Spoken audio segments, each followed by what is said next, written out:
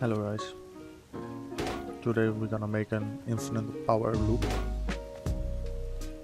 with battery backups. Start with the power input. You can use solar, wind turbines, generators, everything. But we use a test generator in this case.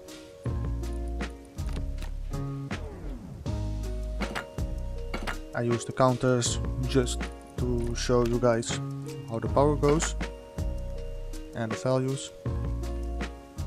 Two branches, a blocker and the OR switch is all we need at the moment for the circuit to work. The rest is all bonus.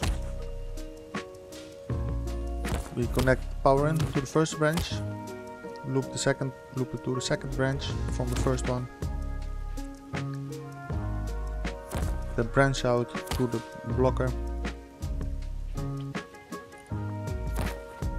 Blocker to the OR switch.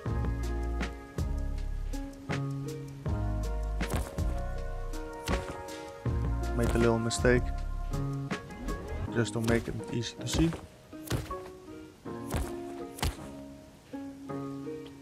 And the branch out from the first branch is the power that you get from the inputs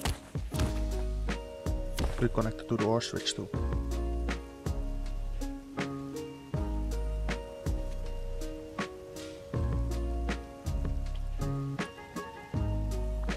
The power out from the second branch, we're gonna use it to charge the batteries. You can use one battery, two batteries, three batteries, four batteries, it doesn't matter, as long as you have enough power to charge them.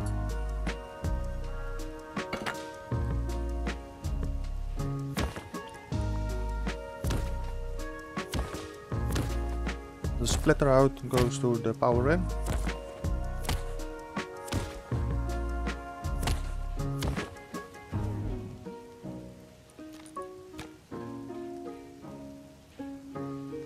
And then we combine the power out from the batteries to the root combiner.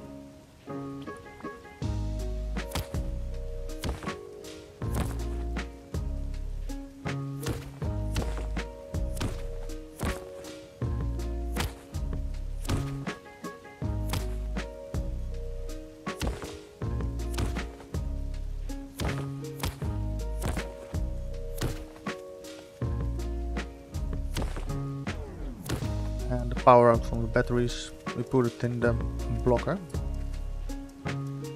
Because if we have enough power the batteries won't use any and they get charged. Another counter just to show you guys how the power goes and what the amounts are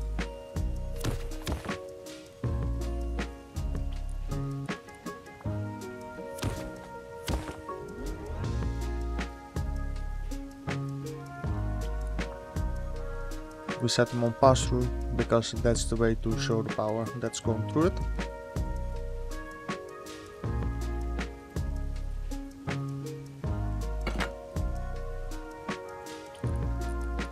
And we use the counter here just to show you the different values that we get.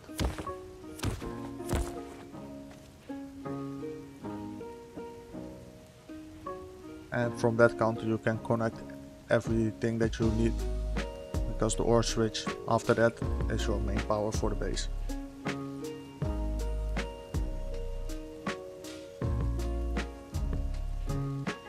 Just a quick search for the switch.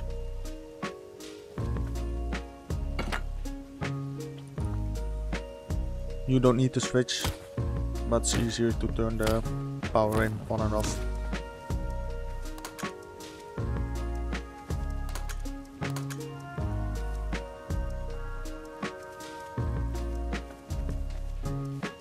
This is the overall setup.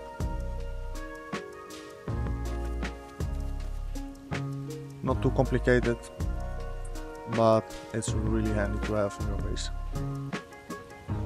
The first branch we change to the amount of the power out that the batteries have, minus 1. And this, the power out from the second branch, is the amount to charge the batteries. In this case 100 power because we have 100 access power.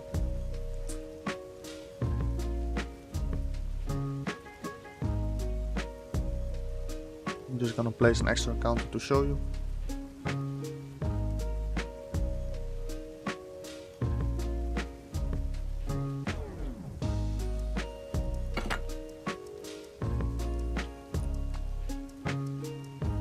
All right, from the second branch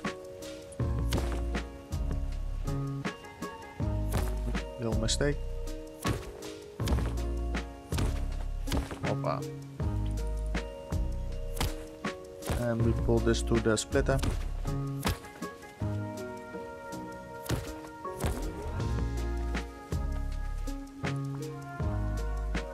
So in this setup we have 300 power coming in from the main power. We have 100 excess power for the charging and 199 to the base, total road base.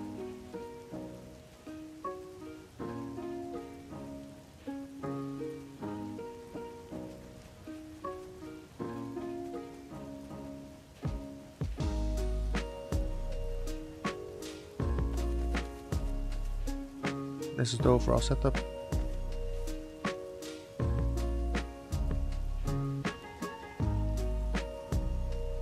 What happens when you don't have enough power going out?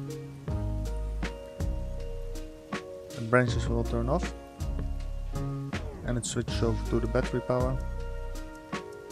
These are just the values that you can use and the 199 power is the amount that we need for this battery setup.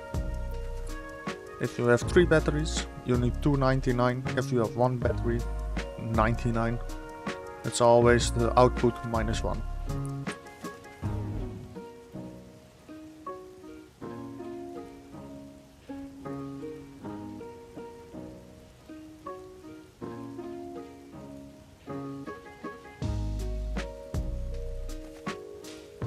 Now we turn off the power.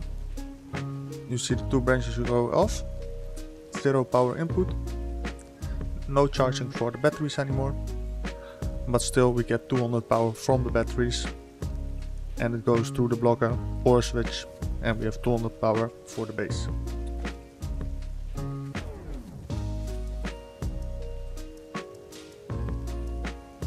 And when we turn it on, the blocker blocks the power from the battery and the excess amount will charge the batteries. And if we disconnect it with 100 power, it's less than the power that the batteries deliver. So the OR switch takes both uh, power lines, but it always takes the highest one. So in this case it uses the batteries.